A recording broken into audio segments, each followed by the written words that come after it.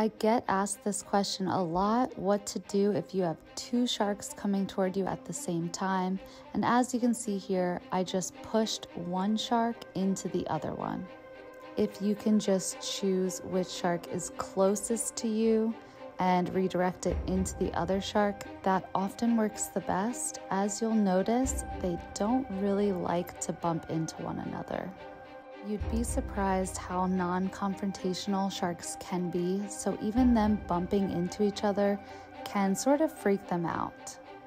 It's also really important to have good dive buddies with you and go with a trained professional because here you could see on the left side of the screen, Andy's hand came in to help me push away one shark when I had two coming right for me.